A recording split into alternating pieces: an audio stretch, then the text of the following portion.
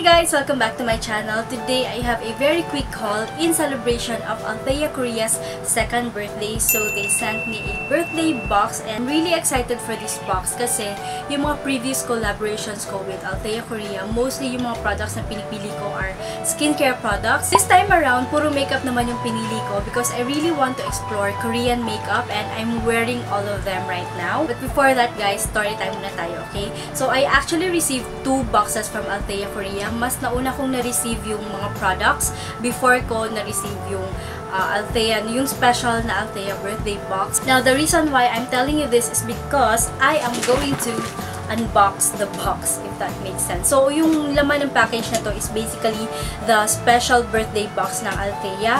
And yung mga products naman is here, dito sa box na to. So, ito yung nauna. And then, this one actually arrived just today. So anyway, talagang hinintay ko tong birthday box na to before I could film this and pinigilan ko yung sarili ko na hindi muna tumingin sa Instagram because I know some of the bloggers, especially in Manila, have already received their special birthday box and, and they've posted na on Instagram. But pinigilan ko yung sarili ko na hindi mag-stalk sa Instagram just so I can have a genuine reaction pag nakita ko yung box. So, let's do this! Last year, pinadalhan din ako ng Anthea Korea nung birthday box nila. And I actually have it, but I can't show it to you kasi doon nakapatong yung camera ko right now. Ooh, ayun na guys. Nakikita ko na siya. And something different. Hindi siya yung usual na pink box ng Althea Korea. It's here! My god, it's so pretty. It's blue. Usually, di ba pink? Pero this one is blue. Ayan, and it's one of my favorite colors actually. And it looks so festive. Tapos, ayan, may nakasulat din, Happy Birthday. And may laman siya, guys. I thought it's just going to be a box. Oh my god. May mga laman pa pala siya. I didn't expect this. May mga laman pa siyang products. Akala ko yung ano lang, yung birthday package lang. Oh my God! Okay, so anong laman ito? Meron siya mga stickers. Ooh, so what's this? I think you need to ano to? Ah. So I think kailangan mo siyang i-assemble para maka-form ka ng number 2. Then these are also some stickers. Stickers ba to? Or it's something that you need to ano, put in a stick? Yeah. Um, I'm going to go through this after this video. Tapos, meron din siyang ganito, guys. Yung cake bunting. Bunting ba or bunting? I don't know. Sorry, hindi ako marunong ma-pronounce. But, yan siya. So festive, no? And it's so cute. I'm going to post a photo with this set on my Instagram account. But, mm, ang ganda. Tapos, what's this? Oh, I have a voucher code which I'm going to put in the description box later. Oh my God! Tapos may mga freebies. Ito, hindi ko na to in-order itong mga things na to, guys, ha? Wow! Oh my gosh! So, I have a goat milk um, second skin mask brightening. Ayan. And then, what's this? Half Moon Eyes Pink Fruity Wash Off Mask. Ooh, Wash Off Mask. Let's see. So, ayan siya. Ah, okay. Ayan siya. Para siya yung nasa, ano, parang yung mga nasa jelly ace na lalagyan. And then, it's just a mask. Ayan. Wash off mask siya. Oh my god. Thank you so much, Althea. And then, this one, Neko Punch Point Pads. What's this? Uh, ah, okay. So, oh! Hindi ko siya maintindihan, guys. Pero, dun sa illustration, pwede mo siyang ilagay sa uh, under eye. Pwede mo rin siyang ilagay sa cheeks, sa paa. Ayan o. Like, meron talaga nakalagay. Pwede mo siyang ilagay sa paa. Hmm. Interesting. Oh my God, my lipstick. This is from Belle Journey Tattoo Tint. Oh, so cute! It's a lip tint. Oh, it's so pink. Wow. Love it! And then what else? Wow, I did not expect these freebies talaga, like swear. Ang alam ko lang, yung birthday set lang talaga. And, uh, samples. I have a lot of samples here. Tingnan natin. So, this is organic flower toner from Wamisa. Wamisa. Dami niya. Oh, this is a my toner, my water cream, my foam cleansing cream, lotion, lotion, double rich. The other one is original. And then, this one is lotion again. And then, another water cream. Tapos, this one is White Effect cream from Aqua Blossom. Yan, Aqua Blossom. Yan, same lang sila. Yan. There you go. And then this one is Wang Skin Moisture Cleanser.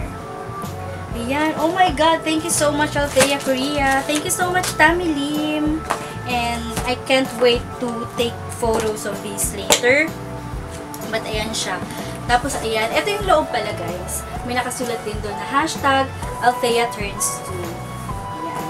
So again, ito yung special Althea birthday box which you can get if you order throughout the entire month of July. Ayan. Now, let's proceed to the products that I got from Althea Korea. First, we have yung the Face Shop. This is the Face Shop Rice Water Bright Lip and Eye Makeup Remover. I got this kasi naubusan ako ng favorite ko na Clinique Take the Day Off Lip and Eye Makeup Remover.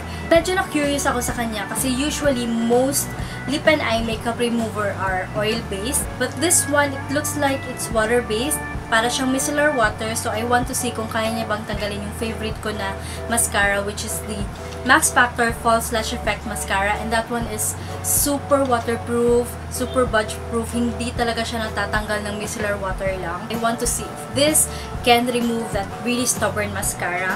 Now, speaking of waterproof mascara, I also got one and this is from Misha.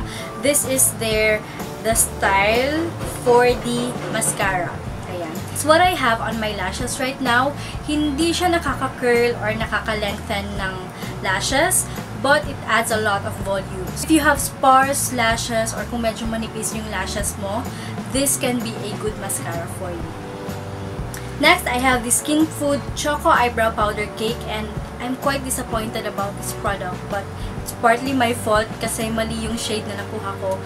Akala ko kasi yung shade na nakuha ko is parang gray-brown siya. But it turns out, it's, it leans more to a khaki black shade. Hindi lang talaga ako sanay gumamit ng eyebrow product na may gray to black shade just because I feel like masyado siyang matapang for me. But the product itself is actually good. Hindi siya ganun ka-pigmented, which means madali mong makakontrol yung product. When it comes to eyebrow powder kasi, it's easier to build up the product rather than applying yung talagang super intense na color tapos mahirap na siyang i-fix. With this one, hindi siya ganun ka-pigmented yung color, so it's easier for you to build up the product to your desired intensity. Next one, I have a bronzer and super cute lang ng packaging niya guys. When I saw this on the website, I immediately added it to my cart kasi wala lang, sobrang cute lang niya. And this is from the brand Bell Me. It's their Cocoa Beach Fat Tan Bronzer. And it's what I have on my cheeks right now. Very subtle lang siya. I thought it was going to look muddy or orangey on me. But okay naman siya. Surprisingly, I actually really like it. I think it looks natural on my morena skin tone. And I also like na hindi siya overly pigmented. Hindi siya ganun ka-intense and hindi rin naman siya ganun ka-light. And it shows up just enough on my skin tone. Have an eyeliner from Rire. It's their Luxe Gel Eyeliner. And this is in the shade number 8, Tear Pink. It's what I have on my inner corner right now. It's a very nice shimmery nude eyeliner perfect for the waterline and the inner corner of the eye because this technique is something that I actually really do kasi ang lakas nga makapa-fresh ng eyes. Kasi mahilig ako magpuyat so whenever I do my makeup, I always make sure to put some sort of highlighter on the inner corner of my eye to make it look brighter, fresher, to make it look like I've slept for 8 hours kahit hindi naman. This one is a really good eyeliner for that technique. This next product is probably my favorite among the bunch and this is the Lisley Wara Cheek Palette. I have been wanting to get my hands on this kasi nakita ko siya kay Project Vanity and sobrang ganda lang ng colors niya guys. Just look at that. It's very chic, very feminine. Ang lakas niyang maka-Parisian look. All the shades are matte and it's what I have on my lids right now. I use this for my crease color. This shade is called Athens and this one for my overall lid color. This shade is called Soul. Sobrang ganda lang talaga niya guys. I think it's a really good eyeshadow palette for everyday and it can easily transition for a day to night look which makes it a really good uh, palette for when you're traveling. Lastly, I have something that's really popular right now and it's the Paris Ink Velvet Lip from Peripera. I got it in the shade Celebrity Deep Pro. Sobrang popular nito. Ang dami ko nakikita gumagamit nito on Instagram, on YouTube, on Facebook. And, ayan. Sobrang cute lang ng packaging niya. And it smells really good. It smells like strawberry candy. It's what I have on my lips right now. And here's a swatch. It's a really nice red shade with a warm undertone. And sobrang gusto ko siya kasi it's not too heavy. It feels really comfortable on the lips. And it's super long wearing. As I have mentioned earlier, Althea Korea is having a lot of different birthday promos, so make sure to check out their Instagram and Facebook accounts. I'm going to list everything on the description box para wala akong makalimutan. But let me just read to you yung mga ongoing promos nila. First, we have the 20 Days of Beauty Althea Korea Instagram giveaway. I think they've already started this, but every day throughout July, they will be giving away prize. And then, they also have the Shopper's Lucky Draw. So every week, one shopper from each country, including Philippines of course, will win Althea credits. Here in the Philippines, you can actually win 10,000 pesos worth of Althea credits. Another one is the Althea Facebook giveaway. Every Monday, a contest will be up for their FB fans. Lastly, they have the Fly Me to Korea contest. There will be three winners for this contest. The second prize is going to win a 3 months free shopping on Althea.